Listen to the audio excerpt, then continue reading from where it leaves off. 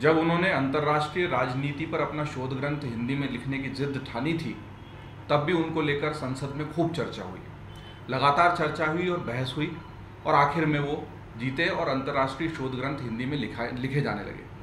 तब उस वक्त इतना विवाद हुआ था कि उनको स्कूल ऑफ़ इंटरनेशनल स्टडीज़ से निष्कासित तक कर दिया गया था। एक बार फिर वो पाकिस्तान गए और भारत के सबसे कट्टर दुश्मन जाने वाले, माने जाने वाले हाफिज सईद से उन्होंने मुलाकात की। उनकी इस मुलाकात को लेकर फिर एक बार इस तरह का विवाद हुआ कि न केवल संसद में उसकी लगातार चर्चा होती रही, बल्कि देश के तमाम टीवी टेलीविज़न चैनलों पर भी उनके साक्षात्कार, उनकी बातचीत दिखाई देने लगी। और जिन तेवरों के साथ उन्होंने अपनी बात रखी और प्रतिकार किया, उसी से हमें पता लगता है कि हम बात कर रहे हैं डॉक्टर वेद प्रताप वैदिक जी की। वैदिक जी, वेब दुनिया की ओर से आपका स्वागत करते हैं। सबसे पहले तो हम ये जानना चाहेंगे कि चूँकि अब वो सारा विवाद उस तरीके से चर्चा में नहीं है बहुत हद तक शांत हो चुका है। आखिर ऐसा क्या हुआ था आपकी हाफिज सईद से उस मुलाकात को लेकर? आपको क्या लगता है क्या मुख्य कारण रहा? क्या आप भारत के सबसे बड़े दुश्मन आतंकवादी से मिलाए केवल इस वजह से विवाद हो गया? उस मुलाकात को लेकर कोई साक्षात्कार तुरंत शाया नहीं हो पाया, उस वजह से विवाद हुआ? या कि इसके पीछे कोई और कारण थे? मैं समझता हूँ कि इसके पीछे कारण हमारे पत्रकार बंधुओं के मन में जो एक जिज्ञासा का भाव रहता है, उसकी उत्कटता है। उसका असीमित प्रवाह है कि जैसे ही उन्होंने हाफिज़ सईद के साथ मेरा फ़ोटो देखा तो एकदम दंग रह गए ये कैसे हो गया कि जिसके माथे पर साठ करोड़ रुपए का पुरस्कार रखा हुआ है अमेरिका ने, जिसके विरुद्ध आठ आठ सौ, नौ सौ, नौ नौ सौ पेश के डोजियर तैयार किए गए। संयुक्त राष्ट्र संघ ने जिसे विश्व अपराधी घोषित कर रखा है उससे एक पत्रकार और वो भी हिंदी का और जिसको कोई जानता नहीं। हिंदी के पत्रकारों की स्थिति ये है कि अंग्रेज़ी के पत्रकार और टीवी चैनल के नए लड़के वो पढ़ते लिखते तो हैं इसलिए उनको यही लगा कि ये अनजान बूढ़ा पत्रकार कैसे जाके मिला हाफिज सईद से? क्या इसको नरेंद्र मोदी ने भेजा है? क्या इसको आईएसआई ने भेजा है? क्या इसको सीआईए ने भेजा है? ये प्रश्न बिल्कुल स्वाभाविक है उनके दिमाग में। मैं उनको दोष नहीं देता तो ये अंग्रेज़ी हिंदी की पत्रकारिता वाली बात आपने उठाई और आप हिंदी की लंबी लड़ाई लड़ते रहे, उस पर मैं बात करूँगा। उस पर एक सवाल मैंने रखा है और बहुत अहम सवाल है। लेकिन जहाँ तक इस मुलाकात को हम वापस उसी परिप्रेक्ष्य में जाकर देखें कि एक ऐसा व्यक्ति जिसको हम हमारे देश का सबसे बड़ा दुश्मन मान रहे हैं हम। पाकिस्तान से लगातार मांग कर रहे हैं कि आप उनके खिलाफ कार्रवाई कीजिए, हाफिज़ सईद को सज़ा दीजिए, क्योंकि हमारे यहाँ पर जो मुंबई का इतना बड़ा भीषण आत्मघाती हमला हुआ और उसमें इतना बड़ा आतंकवाद का हमने नंगा रूप देखा, उससे जाकर आप तो मिल सकते हैं, लेकिन पाकिस्तान उसके खिलाफ कार्रवाई नहीं कर सकता। कहीं ना कहीं देश में ये गुस्सा भी था उस बात को लेकर। नहीं, मेरे ख्याल से ये सब प्रश्न तो बात के जो पहला एक जो धक्का लोगों को लगा, और लोगों को कुछ नहीं लगा, वो तो पत्रकारों को लगा, और मैंने आपको बताया ना कि उसमें ज़्यादातर ऐसे पत्रकार हैं कि जो अखबार वगैरह गंभीरता से पढ़ते नहीं जिनको विदेशी मामलों का ज्ञान लगभग शून्य के बराबर है। उन नौजवान पत्रकारों ने जब देखा, और उन्होंने मुझको देखा, क्यों पढ़ते लिखते नहीं हैं, इसलिए मुझे जानते नहीं हैं। टीवी पे भी जैसे और पत्रकार हैं, वैसे मुझे समझते हैं। तो उनको ये लगा कि ये क्या हो गया? इतने बड़े भारत के दुश्मन से ये आदमी कैसे मिल? गया मतलब आपको ये लगता है कि वो क्यों नहीं मिल पाए और आप क्यों मिल लिए? हाँ, हाय हुसैन हम ना हुए। करबला में जैसे कि हम होते तो पता नहीं क्या कर लेते और देखिए कई नामी गिरामी अंग्रेज़ी पत्रकारों में पत्रकार नहीं कहता उनको विजुअल मीडिया वाले कहता हूँ। उन्होंने पाकिस्तान जो जाते रहते हैं कई बार कोशिश की उससे मिलने लेकिन नहीं मिल सकती जहाँ तक मेरा सवाल मतलब आप कह रहे हैं कई और लोगों ने ऐसे प्रयास किए हैं और वो सफल नहीं है? वो ऑन रिकॉर्ड है टीवी पे कहा कि हमने कई बार कोशिश की मिलने की, हम नहीं मिल सके। लेकिन अगर उनको मेरा इतिहास पता होता, मेरे बारे में थोड़ी सी भी जानकारी होती कि मैं कौन और क्या करता रहा तो उनको लगता है कि बहुत मामूली बात है। हाफिज सईद क्या है?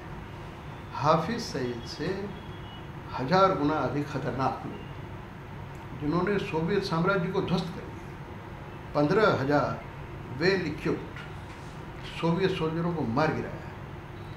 यानी किसका नाम ले रहा हूँ?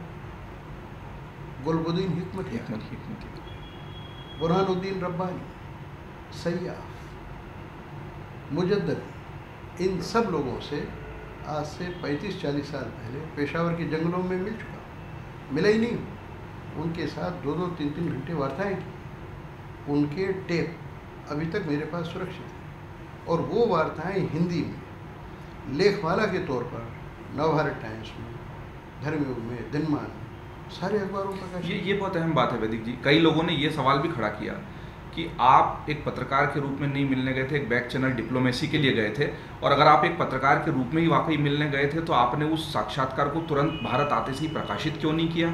या फिर उसके जैसे आप कह रहे हैं कि वो जो हमतियार से और तमाम लोगों से आपकी मुलाकातें हैं उसके ब्यौरे हैं उसके टेप आपके पास हैं इस मुलाकात का ऐसा कोई ब्यौरा तुरंत सामने क्यों नहीं आया? हाँ उसका कारण ये है कि मैं वहाँ से जब लौटा तो पाकिस्तान में बैठकर ही मैं बराबर अपनी मुलाकातों के बारे में लेख लिख रहा था।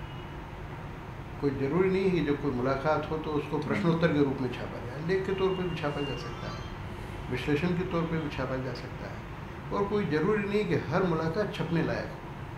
पिछले पचपन, साठ साल के मेरे पत्रकारिता के अनुभव में ऐसी दर्जनों बहुत महत्वपूर्ण समझे जाने वाली मुलाकातें हुई जिनमें से कुछ नहीं निकलता। है जो बड़े बड़े नेता हैं वो मुलाकात के अवसर का उपयोग समय काटने के लिए करते हैं। हाफिज सईद से मुलाकात तो ऐसी चीज़ थी जो सब उत्सुकता से देखते तुरंत हाथों हाथ लेते।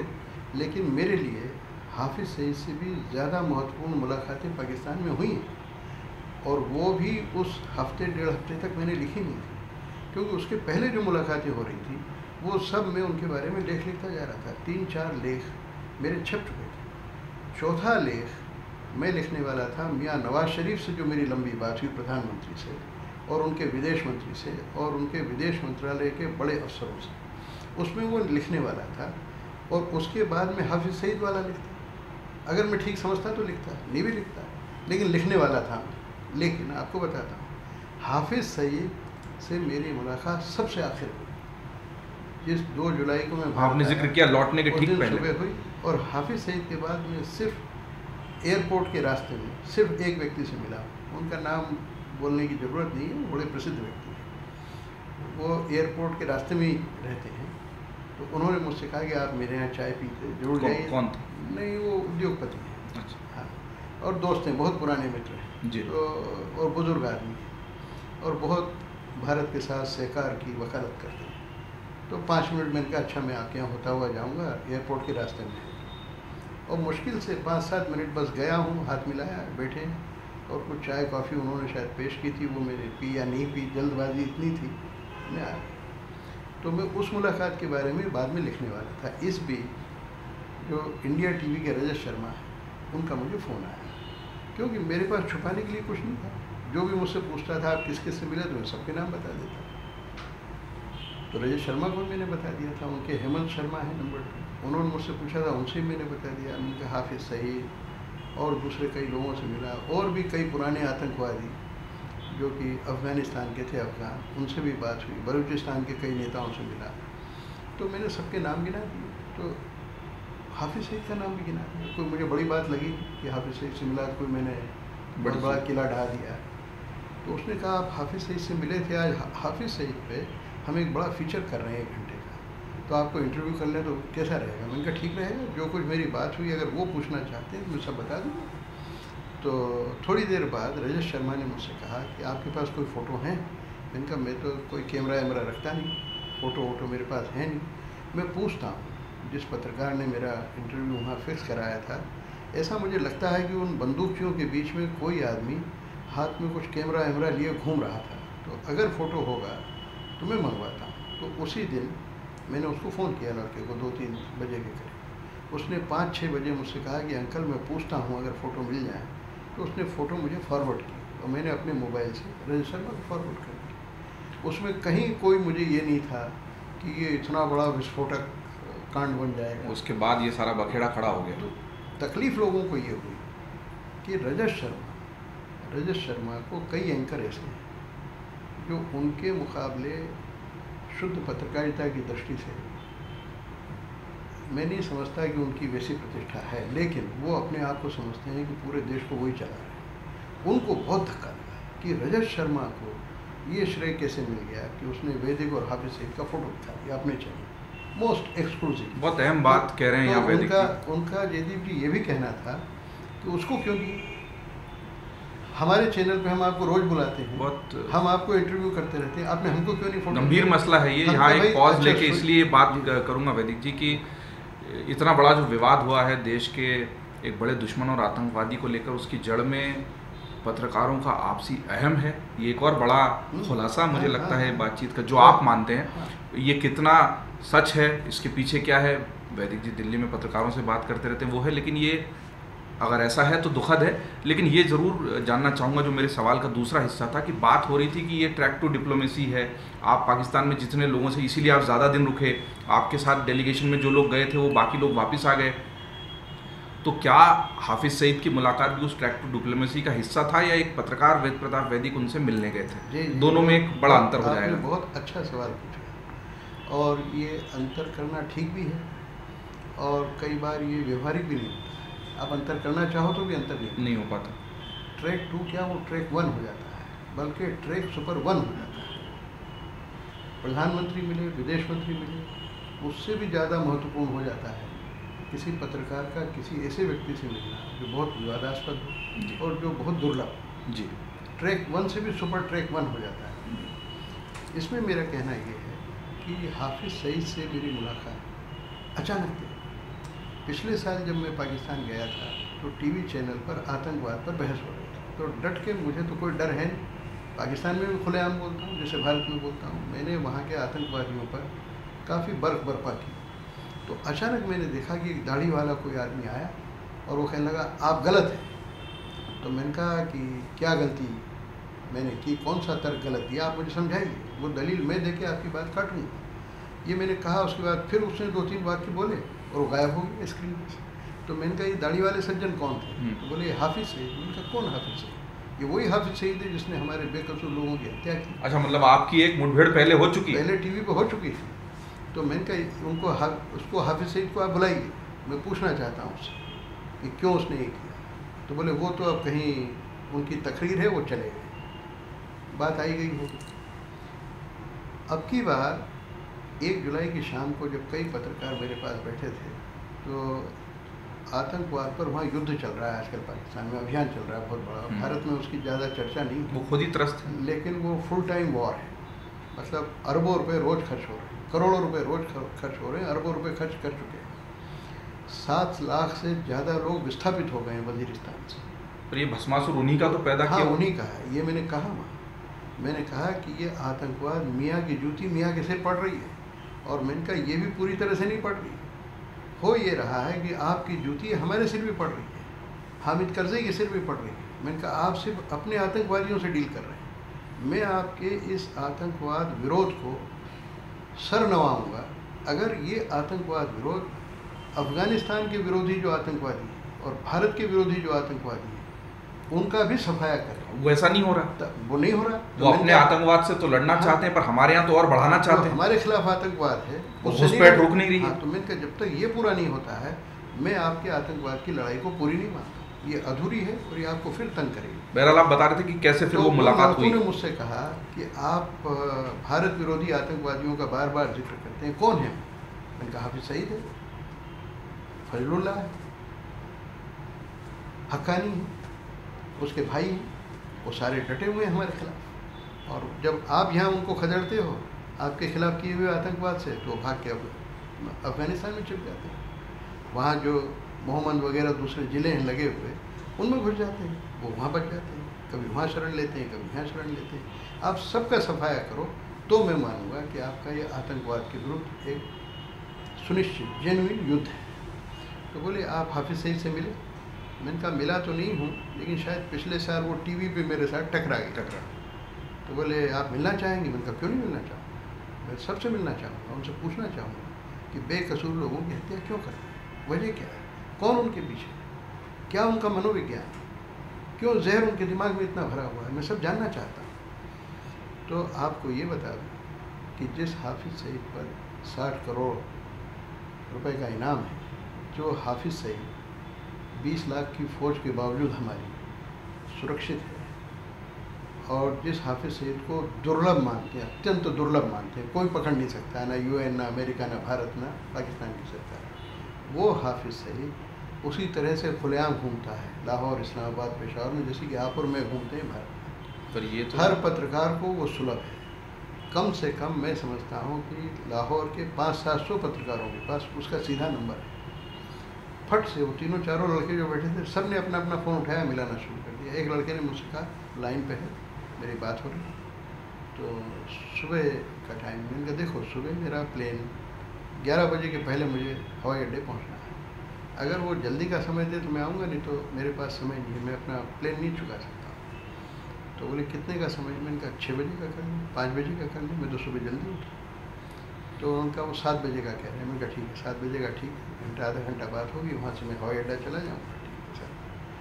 फ़ोन रख दिया। मैंने कहा फिर उनसे पूछो कि वो मुझे जानते हैं कि मुझसे जब बात करे तो ये नहीं समझे कि मैं कोई एक रिपोर्टर हूँ हम्म, और वो जो कुछ कह रहे हैं उसको रिपोर्ट करने आया मैंने कहा मैं खुल के बात करना चाहता हूँ। तो फिर दोबारा फ़ोन किया। तो बोले हाँ मैं डॉक्टर वैदिक को जानता हूँ और उनके लेख पढ़ता हूँ रोज़। मेरे लेख पाकिस्तानी अखबारों में छपते हैं अनुवाद। और बोले, टीवी चैनल पे तो उनको अक्सर देखते हैं। यानी पाकिस्तान के चैनल्स मुझे जनरली बहुत कवरेज देते हैं। अफ़गानिस्तान की भी बहुत कवरेज देते हैं। चीन जाता हूँ तो चीन में, चीन का जो दुनिया का सबसे बड़ा चैनल है सी उसने आज तक मेरे अलावा भारत के किसी विदेश मंत्री का भी इंटरव्यू नहीं किया है। मेरे ख्याल से जहाँ तक मेरी जानकारी है, भारत के प्रधानमंत्री का इंटरव्यू भी नहीं किया है।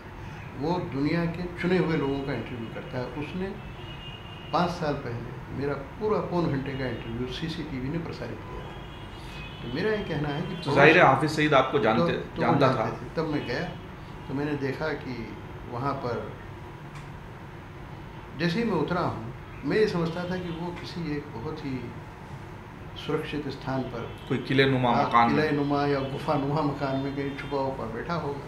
लेकिन वो तो एक मोहल्ला था। उस मोहल्ले में गया तो देखा कि बैरियर लगा हुआ है तो मैंने कहा हो सकता है? बैरियर एक बैरियर पार हुआ दो बैरियर पार हुए तीन बैरियर पार हुए। इतने बैरियर तो पाँच सात दिन पहले मियाँ नवाज़ शरीफ से मिलने उनके घर गया था उनके ऑफ़िस गया था घर ऑफ़िस एक ही जगह। वहाँ नहीं थे जितने इसके थे।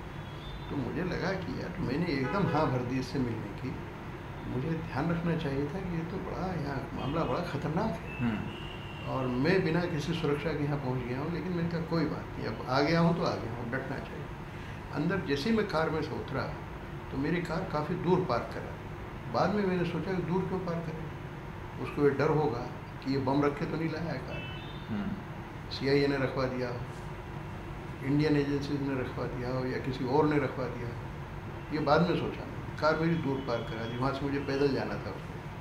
तो मैंने देखा कि पंद्रह सोलह लोग दाढ़ी वाले कुछ आधी बाहें ऊँची किए हुए कुछ किसी के पजामा भीग रहा है। यानी नमाज़ वगैरह पढ़ के या और कुछ करके वो लोग सारे बंदूक बंदूक लिए, मशीन गने लिए, यूँ खड़े हुए तो मुझे अजीब सा लगा, मैंने कहा, मुझे मिलने के लिए बुलाया इसने हाँ ये क्या है, मशीन गन वाले खड़े कर रखे हैं? फिर वो दो मशीन गन वाले मुझे ले गए। वहाँ देखा फिर चार, पाँच मशीन गन वाले खड़े। अंदर बैठा दिया। पाकिस्तान में प्रायः लोगों के घर काफ़ी सजे सजाए हो मतलब तो मिडिल क्लास और अपर मिडिल क्लास के लोग करीने से रखते। हैं हमारे मिडिल क्लास और अपर मिडिल क्लास से वहाँ का मिडिल क्लास और अपर मिडिल क्लास ज़्यादा संपन्न है। उसमें फौजी लोग होते हैं खूब पैसे वैसे उनके पास रहते हैं ठाट बाट रहता है। शायद पहली बार ऐसा हुआ होगा कि अफ़गानिस्तान में किसी के घर गया और वो प्लास्टिक की कुर्सी मुझे बिठा दी। तो मुझे लगा कि शायद मेरा अपमान करने के लिए बिठाया है। तो मेरे मन में हुआ कि मैंने क्यों अचानक बोल दिया कि हाँ मिलेंगे। फिर वो बंदूक वालों को देख के मुझे लग रहा था, मैंने जो ही नज़र उठा के देखा तो खिड़की थी, उस खिड़की में दो आदमी मशीन गन बिल्कुल मेरे सीने पे ही होता नहीं मैंने कहा, इसका क्या मतलब है? फिर जब वो हाफिज़ सईद आया तो मैं उठ के खड़ा हुआ। शिष्टाचार का तरीका है, कोई आदमी आए तो मैंने देखा, यूँ मैंने गर्दन की देखा, पीछे एक आदमी मेरी पीठ पे बंदूक लगाए खड़ा हुआ। मतलब मुझसे कोई दो फुट की दूरी उनकी क्या तरीका है? तो बैठे, एक तनाव सा रहा, दो चार मिनट। उसके बाद जो बातचीत शुरू हुई धीरे धीरे धीरे वो सारा इंटरव्यू तो छपा है। हम्म। सारा क्या काफ़ी छपा है उसमें। आपने खुद आलेख लिख के भी बताया हाँ। है उस बातचीत की बारीकियाँ। फिर भी मैं जानना चाहता हूँ कि आपने जो सवाल उनसे मुलाकात के पहले तय किए थे कि भाई आपने क्यों किया भारत पर ऐसा हमला क्यों किया भारत के खिलाफ आप क्यों हैं और इस तरह की साजिशें करने के बाद भी आप खुलेआम पाकिस्तान में घूम रहे हैं इसका मतलब पाकिस्तान की सरकार का भी आपको संरक्षण है। क्या ये सारे सवाल आपने किए उससे? आपने मेरे इंटरव्यू में देखे नहीं तो उसका क्या मैं जानना चाहता हूँ यहाँ कि क्या जवाब था ये सारे सवाल किए। और सबसे बड़ी बात ये, मैं हाफिज़ सईद की ईमानदारी को दाद दूँगा कि जब हमारे चैनल्स ने उसको इंटरव्यू किया, या पाकिस्तान के एक चैनल ने उसको इंटरव्यू किया तो उस इंटरव्यू को हमारे चार पाँच चैनल्स ने चलाया। आपने वो देखा? नहीं देखा उस इंटरव्यू में हाफिज़ सईद बोलता है कि डॉक्टर वैदिक ने बैठते सी मुझसे कहा कि देखिए, मुझसे इधर उधर की बात मत कीजिए। आपसे सीधी बात पूछूँगा और मुझे सीधा दिल खोल के जवाब दीजिए। कोई बात छुपाने की कोशिश नहीं और उन्होंने बैठते से मुझसे ये पूछा कि बम्बई में बेकसूर लोगों की हत्या आपने क्यों की? ये कौन सा जिहाद है? ये कौन से इस्लाम में लिखा हुआ है कि बेकसूर लोगों की हत्या करो ये सवाल उन्होंने पूछा। तो हाफिज़ सईद ने खुद जो बात मैंने इंटरव्यू में लिखी थी मेरा इंटरव्यू छप चुका था। हाँ। हिंदी में था। ऐसा नहीं कि उसने पढ़ लिया या उसने उसको देख के सारी बात बनाई। उधर उसने अपनी बात कही इधर मैंने अपनी बात की और दोनों बातों में तथ्य था। कोई उसमें इधर उधर तो उसका क्या मानना उसने क्यों हमला तो उसने मुझे कहा कि नहीं नहीं मैंने उससे कहा कि आप जिहाद अकबर जानते हैं ना तो उसको ये आश्चर्य हुआ कि मुझे जिहाद अकबर के बारे में कैसे मालूम? और जिहाद असगर के बारे में मुझे कैसे मालूम? तो मैंने उससे कहा कि मैंने अफ़गानिस्तान पे पीएचडी किया है। मुस्लिम देशों में मैं बरसों से रहा हूँ पचास साल से अध्ययन कर रहा हूँ। और मैंने कहा जिहाद अकबर का मतलब होता है काम क्रोध मद लोभ मोह। इन पाँचों वासनाओं पर काबू पा काबू। मैंने कहा इसमें तशद के लिए कहाँ जगह हिंसा के लिए कहाँ जगह कहाँ इसमें कहा है कि बेकसूरों की हत्या करो? तो थोड़ा सा उसको आश्चर्य हुआ कि मैंने ये बात एक हिंदू हाँ। भारत से आया हूँ और, और मैं ये कह रहा हूँ। तो बोले नहीं नहीं सर इतने उसने सम्मानपूर्वक मुझसे बात की, बोले, सर, नहीं नहीं, मैंने कौन सा जुर्म किया? है मैंने तो कभी, मुझे पता ही नहीं कि बम्बई में क्या हुआ। मुझे तो दो घंटे बाद जब वो चलने लगा तो लोगों ने बताया कि बम्बई में कुछ हुआ है तो मैंने टीवी ऑन किया तो मैंने देखा कि लोग मेरे नाम की माला जप रहे हैं, कि हाफिज़ सईद ने भेजा है, हाफिज़ सईद ने भेजा है। मुझे तो उसके बारे में कुछ पता ही नहीं मैंने कहा, हाफिज़ भाई, अगर तुमको पता नहीं तो ये यूनाइटेड नेशंस के इतने अफसर, इतने विद्वान लोग, जिन्होंने तुम्हारे खिलाफ डॉक्यूमेंट उपस्थित किए हैं एविडेंस उपस्थित किया है, भारत में इतने बड़े बड़े डोजियर बना के भेजे अमेरिका के C I A Pentagon foreign office state department सबने ये जो इतनी चीज़ें तैयार की, सब झूठी सब बेवकूफ़ है। बोले, बिल्कुल झूठी मैंने कहा, कैसे झूठी? तो बोले, आप देखिए कि पैसों के खातिर कि आसिफ जरदारी सरकार को पैसे मिल जाएँ? इसलिए उनके होम मिनिस्टर रहमान मलिक ने मुझे ज़बरदस्ती गिरफ़्तार कर लिया। अमरीकियों को खुश करने के लिए उनसे करोड़ डॉलर लेने के लिए। और देखिए लाहौर के हाई कोर्ट ने मुझे बरी कर दिया और उस कोर्ट में घंटों बहस चलती रही। और मेरे वकील को बाहर निकाल दिया उन जजों ने। बोले जज भी बिके हुए सबने बाहर कर दिया।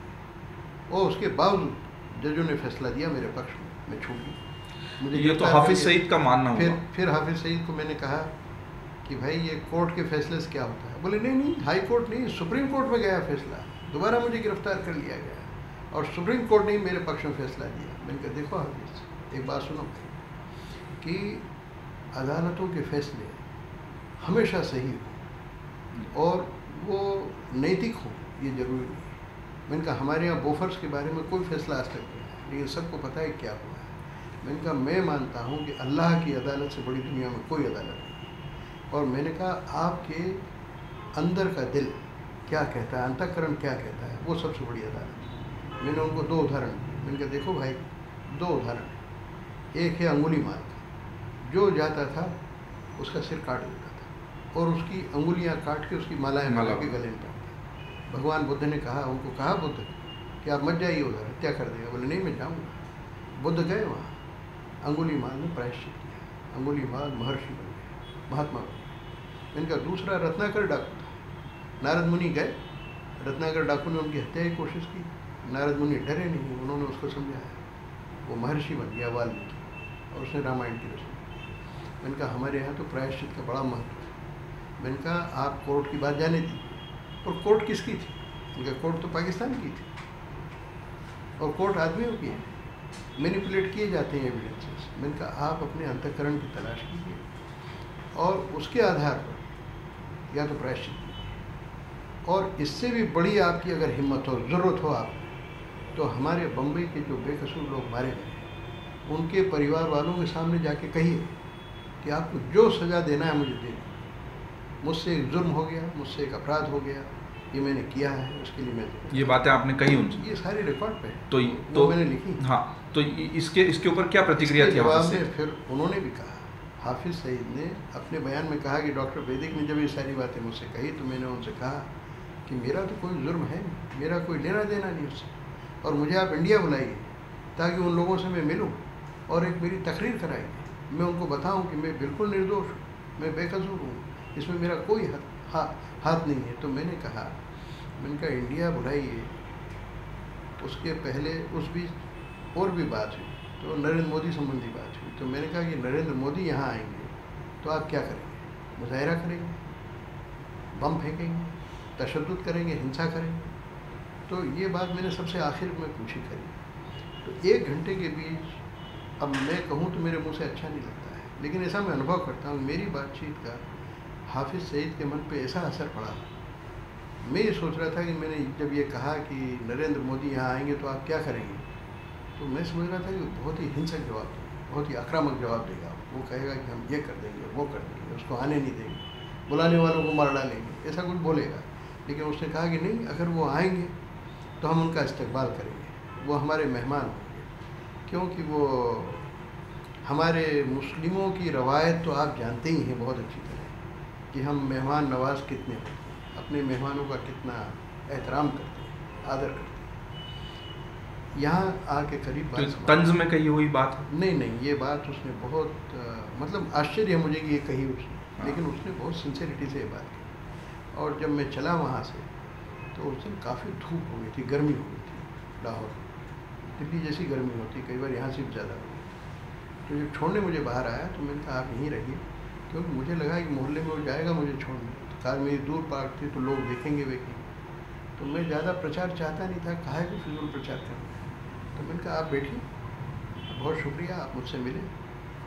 मैं बैठता हूँ कार वो मेरे साथ साथ बाहर आए। वो जितने बंदूक वाले खड़े थे, सबको उसने यूँ इशारा किया, सब हट गए। और फिर मुझे वो छोड़ने कार तक आया और फिर मुझसे कहने लगा सर, मैं आपको मतलब मेरे कोहनी पर हाथ लगा के सहारा देने लगा। मैंने कहा कि, हाफिज़ जी, आप मुझसे जवान हैं, लेकिन मुझमें खूब ताकत है। आप फ़िक्र मत कीजिए, आप मुझे सहारा मत दीजिए, मैं अपने आप बैठ जाऊँ। ये पूरी मुलाकात का नहीं मुलाकात में और भी हाँ। बहुत सी बातें हुई वो सब मैंने अपने इंटरव्यू में लिखी। एक तो इसमें ये अहम बात है कि वो भले ही माने कि उसने बम्बई का हमला नहीं किया वो शामिल नहीं है लेकिन वो जितनी तकरीरें पाकिस्तान में करता है जितनी हम टेलीविज़न पर उसकी फुटेज देखते हैं वो सब में हिंदुस्तान को अपना दुश्मन बताता है कहता है कि यहाँ पर हिंदुस्तान के खिलाफ जिहाद लड़ना है और हिंदुस्तान के खिलाफ ही बयानबाजी तमाम करता है। तो फिर वो हिंदुस्तान के खिलाफ विचार हैं भावनाएँ हैं और उसको भड़काने में उसकी भूमिका उससे स्पष्ट होती है। बिल्कुल। और ऐसा व्यक्ति एक ऐसा आदमी जो तमाम हिंदुस्तान के खिलाफ आतंकवाद को पनाह दे रहा है उसकी सुरक्षा जो आपने भी बयान दिया उसके मुताबिक जो वहाँ पर प्रधानमंत्री की सुरक्षा से ज़्यादा है उतने बड़े तो ये अच्छी बात है कि आप उन तमाम बैरियरों को पार करके तमाम उन बंदूकों के साय में भी उस ऐसे आदमी से मिल के आए लेकिन ये तो पाकिस्तान की तरफ़ एक बड़ा इशारा और क्या आपकी इस मुलाकात पे जो विवाद हो गया उसको हम दरकिनार भी कर दें। तो इससे ये सबूत है बहुत बड़ा कि उस आदमी को पाकिस्तान ने पनाह दी है। वहाँ पर उसको प्रधानमंत्री से भी ज़्यादा कड़ा कड़े सुरक्षा घेरे में रखा गया है। इससे तो पाकिस्तान का इसमें जो रोल है उसकी जो भूमिका है वो साबित होती है और बहुत मजबूती से साबित होती है। तो क्या बल्कि इसको पाकिस्तान के खिलाफ एक बड़े सबूत के रूप में नहीं इस्तेमाल किया जाना चाहिए? बिल्कुल बिल्कुल बिल्कुल। यह आपने बहुत अच्छी बात कही और मैं कि प्रधानमंत्री से ज़्यादा पनाह आप उस आदमी को दे रहे हो जो दुनिया का दुश्मन घोषित हो चुका है। समझता हूँ जयदीप जी आप ऐसे पत्रकार हैं पहले मुझे सैकड़ों पत्रकारों ने इंटरव्यू किया है आपने ये सबसे मौलिक बात कही। ये तो प्रूफ लेके आए हैं। सबसे मौलिक बात कही। कि उसको प्रधानमंत्री से ज़्यादा सुरक्षा आपने दे रखी है बच्चे बच्चे के पास उसका नंबर है। ये आपने सबसे तो और क्या प्रूफ चाहिए? वो कसाब हमारे पास था वो सारे बयान दे चुका है। आपने सबसे मौलिक बात तो इसको फुटेज बना के इसको हमारे जो इन पत्रकारों ने कहा कि मुझे नरेंद्र मोदी ने भेजा है और जब वो बात फेल हो गई हाई कमिश्नर ने वहाँ से कहा आपको पता ही नहीं कि वैदिक जी वहाँ पाकिस्तान में थे तो मैंने संपर्क ही नहीं किया, मुझे ज़रूरत क्या है? तो फिर कहने लगे आईएसआई ने भेजा अरे भाई, मियाँ नवाज़ शरीफ और आसिफ जरदारी, पिछले साल मई में गया था, आसिफ जरदारी राष्ट्रपति थे। उन्होंने मेरे लिए कराची में दावत दी मैं लाहौर में था, मेरे लिए स्पेशल प्लेन का इंतज़ाम किया और शाकाहारी भोजन बनवाया और वन टू वन दावत ये नहीं कि दस, बीस या सौ, दो सौ, हज़ार, दो हज़ार लोगों को बुला रखा, मुझे भी मैं गया, मैंने उनको एक शॉल भेंट की, उन्होंने मुझे एक सिंधी शॉल भेंट मुझे सिंधी टोपी पहने। दो घंटे मुझसे बात की। बेनज़ीर जी मेरी बहुत जिगरी दोस्त थी। दुबई में भी अक्सर मेरे घर आया करती थी। आप मेरी वेबसाइट पे फ़ोटो दी आपके अफ़गानिस्तान और पाकिस्तान में बहुत करीबी संबंध हैं। आप अंतर्राष्ट्रीय मसलों पे लिखते रहे हैं। अफ़गानिस्तान पे आपकी पीएचडी है।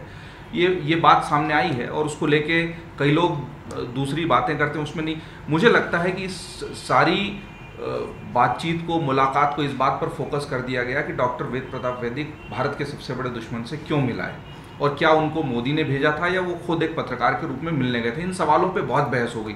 मुझे लगता है, क्या उसके बाद मेरी जानने में दिलचस्पी पत्रकार के तौर पर? रॉ वालों ने।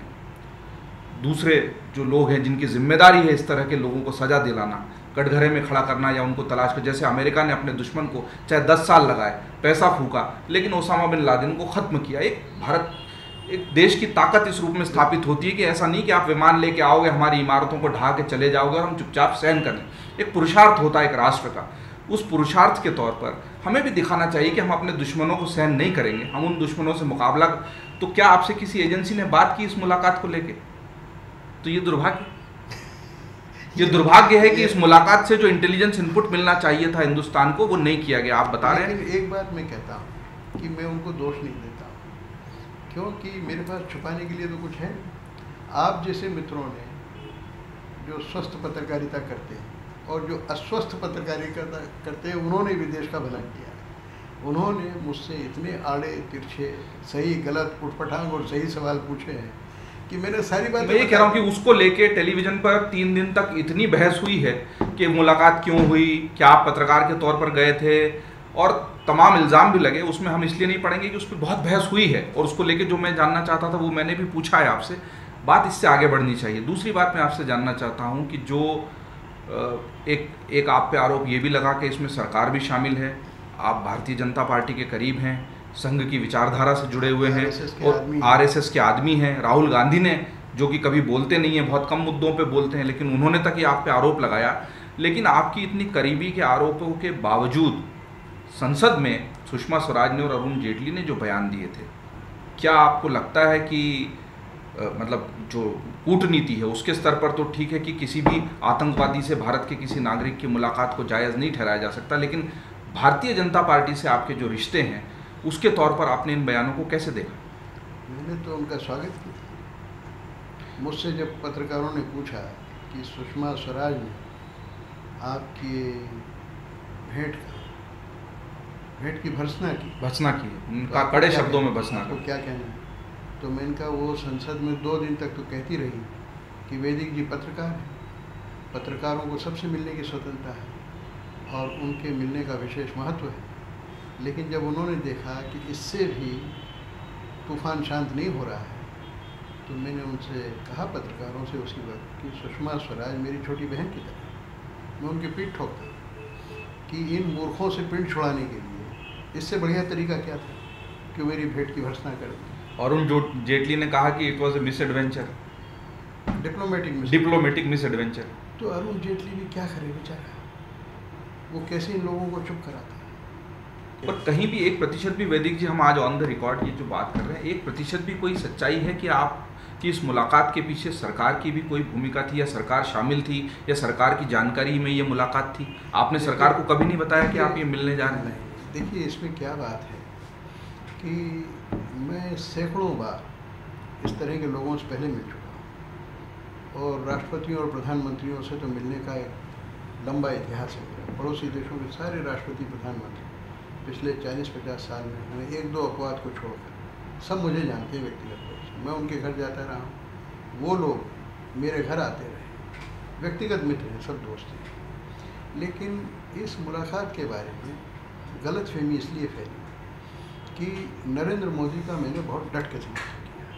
नरेंद्र मोदी 2013 दिसंबर में जब गुजरात का तीसरी बार चुनाव जीते तो मैंने उस वक्त टेलीविज़न चैनल्स पे कहा कि ये व्यक्ति, ये मुख्यमंत्री प्रधानमंत्री के द्वार पर दस्तक दे रहा है। यही प्रधानमंत्री बनेगा संघ ने उसको स्वीकार किया, भाजपा ने स्वीकार किया, उसके पहले मैंने कहा, लिखा और लगातार बोलता रहा। सभाओं में भी टेलीविज़न चैनल्स पे भी और नरेंद्र मोदी की उपस्थिति ताल कटोरा स्टेडियम में जो मेरा भाषण हुआ था उसमें मैंने कहा कि नरेंद्र मोदी को प्रधानमंत्री बनने से दुनिया की कोई ताकत रोक नहीं सकती। जिसको प्रधानमंत्री बनाने के लिए हमारे वर्तमान प्रधानमंत्री हमारे मित्र मनमोहन सिंह जी दृढ़ प्रतिज्ञ सोनिया जी दृढ़ प्रतिज्ञ अपने कर्मों से। अपने कर्मों से भला उसको प्रधानमंत्री बनने से कौन रोक सकता? तो ज़ाहिर है ये माना गया कि तो आप लोगों करीबी हैं। लोगों ने ये माना कि डॉक्टर वैदिक और संघ का भी जहाँ तक सवाल है, मुझे छुपाने की कोई बात नहीं इंदौर के तो सब लोग जानते हैं। जब गुरु गोलवलकर जी महाराज यहाँ ठहरते थे रामनारायण जी शास्त्री जी यहाँ तो उनसे बराबर मेरी भेंट होती मैं कॉलेज में पढ़ता था, लेकिन उनके दर्शन करता था। बाद में मैं दिल्ली चला गया। जब भी दिल्ली आते थे, बराबर भेंट होती थी। उनके बाद देवरस जी। देवरस जी बने, उसके बाद पहली बार वो इंदौर आए जून में।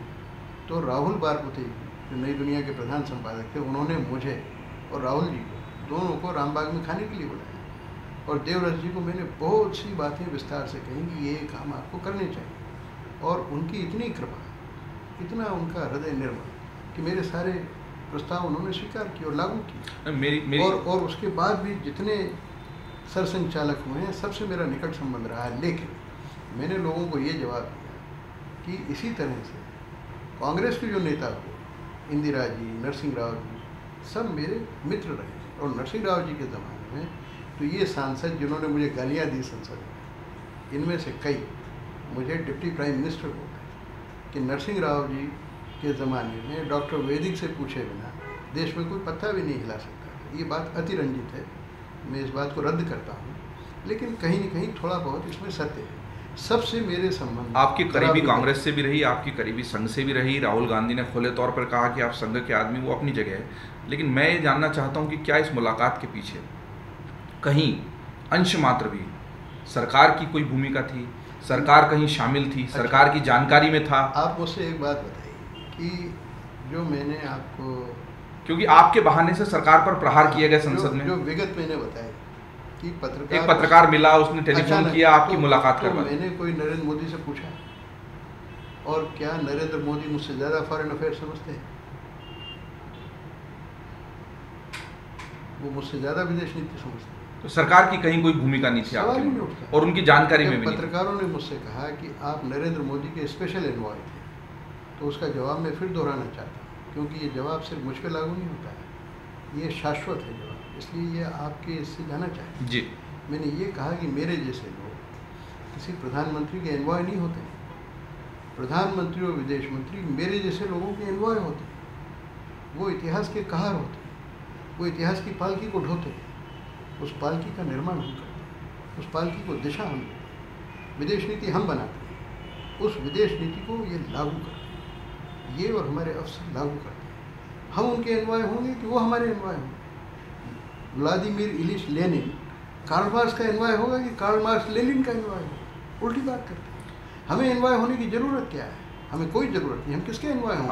आप कहना चाह रहे हैं कि आप चिंतक विचारक हैं और विचारक जो होते हैं उनकी अलग भूमिका होती है। विचार की ताकत परमाणु बम से ज़्यादा बड़ी है। मैं निश्चित मैं ये जानना चाहता हूँ कि इस मुलाकात के बाद संसद में जो हंगामा हुआ अपनी जगह टेलीविज़न चैनलों पे तमाम हंगामा हुआ अपनी जगह लेकिन बहुत सारी जगहों से ये आवाज़ भी आई कि डॉक्टर वेद प्रताप वैदिक जी पर राष्ट्रद्रोह का मुकदमा दर्ज कर दिया जाना चाहिए। आप किस रूप में देखते हैं इस तरह की मांग? इस जब ऐसे इतनी गहन, गंभीर बातें होती हैं, एक प्रकार से अपराध है। अगर मैंने राष्ट्रद्रोह किया होता तो इससे बड़ा अपराध तो मैं अपने जीवन में कर नहीं सकता। जिन्होंने ये कहा कि वैदिक जी ने राष्ट्रद्रोह किया है, मेरे मुँह से तो कुछ बोलना अच्छा नहीं लगता है। लेकिन उन्होंने कितना गंभीर अपराध किया है, ये वही जाने वही तय करें। ऐसे सब मामलों में मेरी रक्षा भगवान बुद्ध करते भगवान बुद्ध ने एक बड़ी चिरंतन, शाश्वत बात की कि तुम किसी भी घटना के कारण में उतर गए जिसे फिलॉसफी में लॉ ऑफ़ कॉजेशन कहते हैं, कि इसका कारण क्या है? कि किन लोगों ने क्यों कही कि वैदिक ने राष्ट्रद्रोह किया है? ये लोग जिन्होंने ऐसा कहा है वो मेरे परम मित्र मित्र क्या भक्त हैं? हमने अपने जो वेब दुनिया के पाठक हैं श्रोता हैं दर्शक हैं ऑडियो विजुअल मीडिया में उनसे भी अपने फेसबुक पेज के माध्यम से कुछ सवाल किए हैं कि आप वैदिक तो वो भी ये पूछ रहे हैं कि देश के सबसे बड़े आतंकवादी से आखिर आपकी मिलने की ज़रूरत ही क्या थी? वो हमारे देश का दुश्मन है और हम उससे मिलने की बजाय उसको निस्तानाबूद करने की योजना बनाए बजाय कि उससे बात करने की। मिल के उसको यहाँ अपना राष्ट्रपति बनाने किया है। दावत दे रहा था। मैं उससे कह रहा तू हमारा रक्षा मंत्री बन जा। मैं उससे कह रहा था कि आओ तुम हमारी पार्लियामेंट को उड़ा दो। हमारे प्रधानमंत्री को उड़ा दो। मैं किस लिए गया था? उन लोगों को ये सोचना चाहिए अपने से प्रश्न पूछना हाँ। नहीं ये पाठक है जो पूछ रहे हाँ, पाठक को ये पाठकों को समझ होना चाहिए। और मार्कंडेय काटजू ने जो कहा कि 90 प्रतिशत लोग मूर्ख होते हैं। आप तो सही मैं, मैं इसको मूर्ख नहीं मानता लेकिन 90 प्रतिशत लोगों के पास समय नहीं होता क्यों? कारण समझे। कि वो खोज करें, सत्य की खोज करें। तो आपने जो प्रश्न किया, जिन लोगों ने मुझ पर आरोप लगाया, मुझे क्रोध बिल्कुल नहीं आया। आपने देखा होगा, उस दिन भी जो जवाब दिए, मैंने दृढ़तापूर्वक जवाब दिए, लेकिन मेरे चेहरे पर हमेशा कोई तनाव नहीं था, मुस्कान बन रही क्यों? कि मैं कारण समझता हूँ कि इन लोगों को समय नहीं विचारों इतनी गहरी समझ नहीं उनको ये पता नहीं कि एक पत्रकार का दायित्व तो क्या है। उनको ये पता नहीं कि एक चिंतक का दायित्व तो क्या है। उनको ये पता नहीं कि एक पॉलिसी मेकर का दायित्व तो क्या है। आप मुझे ये बताइए। कसाब से बम्बई के जज ने बात क्यों की? उसको फांसी क्यों नहीं लटकाया। जज को। जज अपनी भूमिका में था? हाँ जज अपनी भूमिका में था। मैं एक पत्रकार के तौर पर जाता हूँ एक विचारक के तौर पर जाता हूँ। मैं अपनी एक भूमिका में- वो समझता है कि ये मेरी तरह है। आप ये ये ठीक है कि वो एक साधारण नागरिक जो सोचता है ना उसका सोच अपनी जगह ठीक वो है। तो सोचता है इसने मारा हमारे यहाँ हाँ। लोगों को और इसको भी मारना चाहिए। हाँ तो इससे बात क्यों होनी तो चाहिए? मारते ना। आपको हमने 22 लाख की फौज दे रखी। जाके 22 मारे। है। मारे? मारो। आपको अरबों रुपए हमने खर्च करने के लिए दे रखा है। लेकिन आप 10 साल तक बैठे हुए सरकार चलाते रहे और बगले झाँकते रहे। मक्खियाँ भी नहीं मारी गई आपसे एक बम भी नहीं फेंका गया वहाँ एक आदमी भी नहीं भेज सके। आप आप काहे की सरकार? तो वो आम जनता में वो गुस्सा है कि हम तो पुरुषार्थ क्यों नहीं आम जनता को जो गुस्सा है उसको ये लगा कि ये एक प्रधानमंत्री के खास आदमी उससे मिला हाँ उससे मिल क्यों आए? तो उनका गुस्सा जायज़ है। उसको मैं गलत नहीं कहता हूँ। लेकिन उनको समझाने की कोशिश करता हूँ इसीलिए हम चाहते हैं कि बातें आए बजाय कि जो एक सेंसेशनल। पत्रकार भी उसका परिणाम इतना अच्छा हुआ है कि पूरे देश में क्या स्थिति है मैं कहीं भी जाता हूँ मैं कल बम्बई से आया हवाई अड्डे पर दर्जनों लोग खड़े हो जाते हैं हम आपके साथ फ़ोटो खिंचाना चाह रहे हैं अरे मैंने ऐसा कौन सा तीर मार दिया भाई जो फ़ोटो खिंचा निश्चित तौर पर एक आतंकवादी से मुलाकात ग्लैमर की बजाय चिंता का विषय होनी चाहिए कि अब उस आतंकवादी के साथ भारत कैसे डील करे जो वहाँ पर इतनी कड़ी सुरक्षा में पनाह पाकर रहता है। हम दाऊद इब्राहिम के लिए कहते हैं कि उसका पता सबको पता है लेकिन हम उसे नहीं पकड़ पाते। हाफिज सईद को पाकिस्तान बना।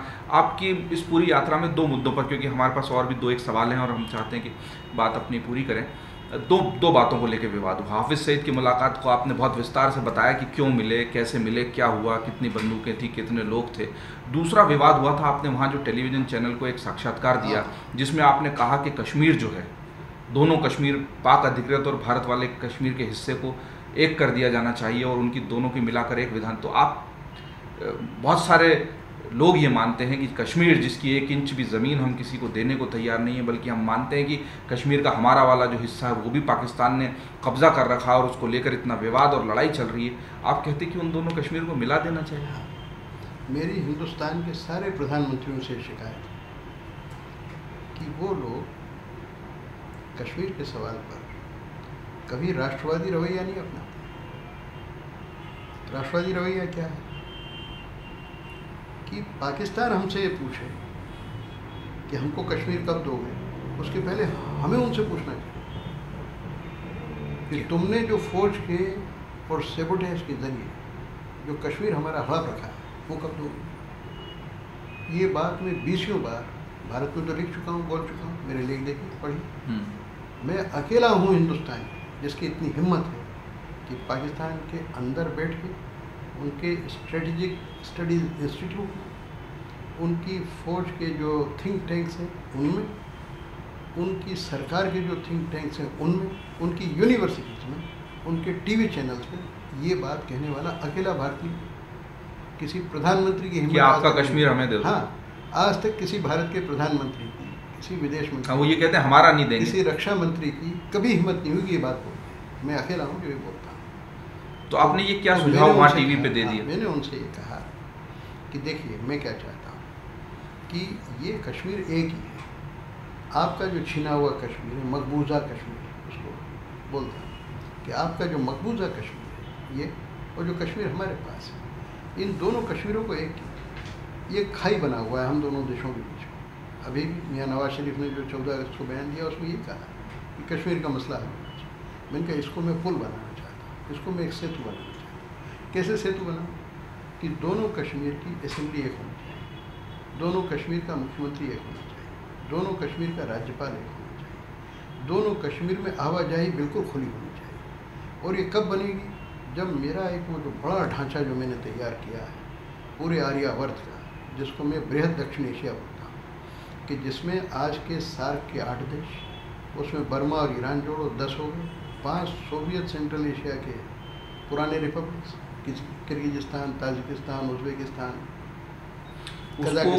subscribe नहीं कर रहे ना आर्यावर्त की बात अगर पाकिस्तान और अफ़गानिस्तान जैसे देश मानने लग जाएँ तो तो एक बहुत ही व्यापक संकल्पना हम अभी कश्मीर पे अगर अपनी बात को केंद्रित करें। कश्मीर की बात इसके बिना पूरी नहीं हो सकती। पर बहुत गंभीर बात है। कश्मीर की बात इसके बिना पूरी नहीं कि कश्मीरी पंडितों का विस्थापन कश्मीरी पंडित नाराज़ हुए आपके बयान से। अगर इस बड़ी आप मिला देंगे तो इसका मतलब आप उसके मुस्लिम आधिपत्य को भी स्थापित करेंगे। बड़ी बात से इस बड़ी बात से अगर आप कश्मीर की बात को अलग करेंगे तो उसकी कीमत दो कौड़ी भी नहीं रहेगी। ठीक। इसलिए इस बड़ी बात के संदर्भ में उसको समझना ज़रूरी और उसमें मॉरिशस को भी जोड़ना है। इस तरह से सोलह देशों का जब एक महासंघ बनेगा आर्थिक महासंघ, जिसमें पासपोर्ट नहीं होगा, वीज़ा नहीं होगा, आने जाने की पूरी सुविधा होगी, कोई नागरिक कहीं कोई संपत्ति खरीद सकेगा, इधर से उधर जा सकेगा बच सकेगा। और एक हम लोगों का समान कॉन्फेडरेशन होगा महासंघ। हम सबका एक समान राष्ट्रपति होगा। इसी तरह से जो हमारे यहाँ प्रांतों को स्वायत्तता है, भारत वही स्वायत्तता कश्मीर को दी।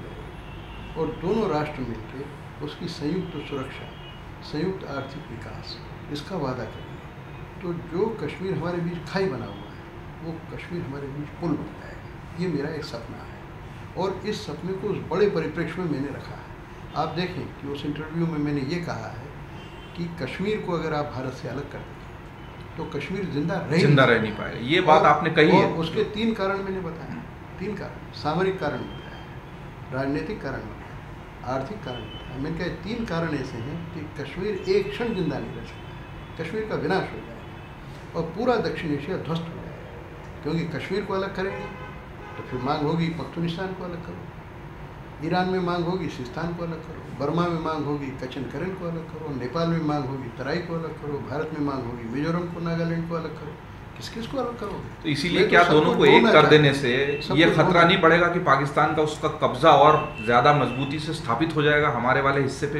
एक करने की बात कब होगी कब्जे की बात शुरू करेगा पाकिस्तान। तो हिंदुस्तान के लोग इतने मूर्ख हैं कि उसको एक करने के जब पाकिस्तान अकब्जे की बात करेगा मकबूजा को मुक्त करने की बात करेगा तो ये बात आगे बढ़ेगी। और जो कश्मीरी पंडितों का विस्थापन हुआ है उसको आप आपकी योजना में कहाँ देखते हैं? तो सब एकदम वापस जाए। क्यों नहीं जाए? क्यों नहीं उनको वहाँ जाना चाहिए रहना बिल्कुल चाहिए उनको ही नहीं जाना चाहिए। ये मैं भारत सरकार से कहता हूँ भारत के प्रधानमंत्रियों से कहता हूँ कि पंडितों को ही नहीं आपको मुझे क्यों नहीं जाना चाहिए? हाँ। कश्मीर हमारे देश तो तीन सौ सत्तर को लेके आपका तीन सौ सत्तर के बारे में मुझे कहना है तीन सौ सत्तर है कहाँ? तीन सौ सत्तर है क्या?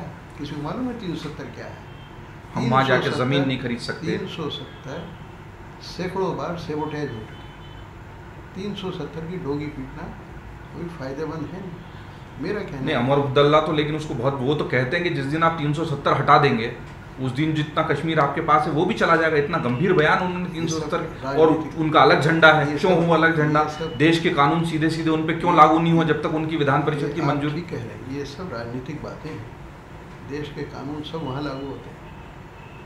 तीन सौ सत्तर सिर्फ़ नाम के लिए है। उनका अलग झंडा नहीं है? झंडे का क्या झंडा मैं अपना अलग बना के लगा लूँ तो क्या होता पर ये तो गलत है एक ही देश में कर क्या मुझे देश का तो झंडा एक ही होना चाहिए। सही है वो एक अलग प्रश्न है वो सैद्धांतिक प्रश्न है। मैं अपनी कार हम वहाँ पर वैदिक तिरंगे के झंडे को जब अपमानित किए जाने के दृश्य देखते हैं तो हमें खराब लगता तो आप उनके झंडे को अपमानित करें उससे क्या बनता है? अगर हम ऐसी व्यवस्था तो करेंगे वहाँ हमारे तिरंगे की शान सलामत रहे। वो आदमी उठ के खड़े हैं और वो प्रधानमंत्री का नाम लेके थूक दें। तिरंगे पर थूक दें। तो जो कार्रवाई करना है कानूनी कीजिए। लेकिन उनके थूक देने से तिरंगा क्या राष्ट्रीय ध्वज नहीं रह जाएगा? क्या भारत का प्रधानमंत्री पर हम ये कानून खत्म करें ना कि उनका अलग कानून अलग झंडा होना ही क्यों चाहिए? ये कहना वो तब जो बन गया डिप्लोमेसी में राजनीतिक में गलती थी। जवाहरलाल नेहरू। ऐतिहासिक भूल थी। जी हाँ उस वक्त जो जवाहरलाल नेहरू को सोचा उन्होंने जो ठीक समझा शेख अब्दुल्ला के ज़रिए जो काम उन्होंने करा है उस वक्त जो बातें मान ली मान ली। पर अब तो हमारे पास उसका कोई महत्व नहीं। तो ये ये राजनीतिक मजबूरी क्यों है हमारी? जो गैर महत्वपूर्ण चीज़ें हैं उनको बड़ा मुद्दा बना के झगड़े क्यों खड़ा करना हाँ? पर मध्य प्रदेश का अलग झंडा नहीं है छत्तीसगढ़ का नहीं है राजस्थान का नहीं है तो कश्मीर का क्यों है? वो ठीक है। अगर है हमारा नुकसान क्या है उससे? क्या नुकसान एक झंडा क्या दस झंडे बना लो अपने हर घर पे एक झंडा लगा दो उससे क्या होगा? तिरंगा झंडा आप आज से दस साल पहले तक पंद्रह साल पहले तक अपने घर पे नहीं लगा सकते हाँ वो तो कानूनी लड़ाई पे उसकी लड़ाई मैंने लड़ी। नवीन जिंदल ने इस। मुद्दे को उठाया उठाया। उसकी अध्यक्षता मैंने की। और तब मैंने कहा उन्होंने कहा कि ये मामला सुप्रीम कोर्ट में सब जुडिस है आप बोलिए मत इस पर किसने कहा ये? किसने कहा? वो जो अपने इलेक्शन कमीशन के चेयरमैन। शेषन साहब। Seshan T N Seshan. हम्म, मैं अध्यक्षता कर रहा था टी एन सेशन मुख्य अतिथि मैंने सेशन को कहा, आप नौकरशाह आप डरते हो। मेरे लिए ईश्वर की कोर्ट सबसे बड़ी कोर्ट मैं सुप्रीम कोर्ट वगैरह से डरता नहीं हूँ। सब मेरी जैसे लोग हैं। मेरे पढ़ाए हुए लड़के जो जज बन जाते हैं, सुप्रीम कोर्ट पहुँच जाते हैं, हाई कोर्ट पहुँच जाते हैं। मैंने कहा इनको बताना, ठीक रास्ता बताना, मैं अपना धर्म समझता हूँ। मैं कहता हूँ कि तिरंगा सबके घर पर लग सकता है। तिरंगा सबकी कार पर लग सकता है। तिरंगे पर सबका अधिकार है। तो बोले, आप पे मुकदमा चल जाएगा? मैंने कहा, चल जाए। मैं मुकदमे से डरता हूँ। बारह साल की उम्र में जेल गया जेल ही हुई। तो मैं इन बातों से ये अच्छी बात है कि आपने तिरंगे की लड़ाई लड़ी। मैं सवाल पूछ रहा तीन तो आप मानते तीन सौ सत्तर जैसी है वैसी रहे कोई दिक्कत नहीं? तीन सौ सत्तर में धरा क्या है? मेरा कहना ये है। उसमें जो बातें अभी कश्मीरियों के विकास में अड़े आती हैं उनको हटा देना चाहिए। कश्मीरियों का हमको अधिक से अधिक विकास करना चाहिए। कश्मीरियों को अधिक से अधिक सुविधा देनी चाहिए। कश्मीरियों को अधिक से अधिक संतोष देना चाहिए। और उनको असलियत बतानी चाहिए कि पाकिस्तान की कश्मीर का क्या है। आपको अगर अनुमति दें तो मैं एक मिनट में एक और बहुत आप कहिए फिर दो सवाल और दो मुद्दे और हैं ऐतिहासिक बात बताता हूँ। जी। पहली बार जब पाकिस्तान गया तो जनरल जियाउल हक के उस्ताद इंस्टीट्यूट ऑफ़ स्ट्रेटेजिक स्टडीज़ के चेयरमैन उन्होंने मुझे व्याख्यान के लिए बुलाया। पाकिस्तान का लगभग पूरा विदेश मंत्रालय बड़े से बड़े अफसर सब वहाँ विराजमान थे बड़े नेता भी विराजमान थे। उनके बीच मैंने कहा एक ब्रिगेडियर नूर हुसैन थे जो इंदिरा जी के शायद इलाहाबाद के उनके मोहल्ले के रहने वाले थे और उनको बचपन से जानते थे उठ के खड़े हुए और अनाप शनाप बोलने लगे। ऐसी विद्वत सभा में ऐसा बोल बोलते नहीं है। हम्म, उन्होंने इंदिरा जी के लिए बड़ी आपत्तिजनक बात कही। तो मैंने फिर उम्र में बड़े थे मैंने डांट के उनको कहा कि हमारे प्रधानमंत्री के बारे में आप ऐसी बात करेंगे? तो मैं आपसे भी सख्त जवाब आपको दूँ याद रखिए। आप मेरे बुज़ुर्ग हैं लेकिन मैं वो लिहाज नहीं करूँगा तो बोले आप सिर्फ़ अच्छा एक सवाल का जवाब दीजिए कि जो कश्मीर आपके कब्ज़े में है मकबूजा वो आप हमें क्यों नहीं दे देते? तो मैंने कहा अगर मैं प्रधानमंत्री हूँ तो अभी इसी वक्त तश्तरी में रखे वो कश्मीर आपको दे लेकिन देने के पहले आपसे एक सवाल पूछूँ। अब हमारे कोई मूर्ख पत्रकार हो तो वो जो मैंने कहा ना आधा हिस्सा ले लेंगे। हाँ ठीक है बात पूरी होनी चाहिए। बात पूरी मैंने कही। मैंने कहा मुझे पहले एक प्रश्न का जवाब दीजिए कि मेरी लड़की की शादी अगर मैं आपके लड़के से करना चाहूँ, लड़की वाला हूँ मैं क्या देखूँ कि मेरी लड़की वहाँ भूखी तो नहीं मरेगी? आपके घर में जाके भीख तो नहीं मांगेगी? सोने के लिए उसकी जगह भी है कि नहीं? पहनने के लिए कपड़े भी हैं कि नहीं? मेरा कश्मीर तो मैं आपको दे दूँ। पहले आप अपने कश्मीर का हाल तो मुझे बताइए।